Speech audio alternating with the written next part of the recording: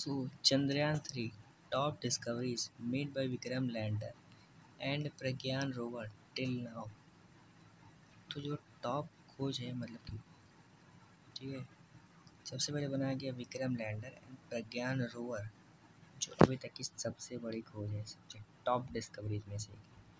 thank you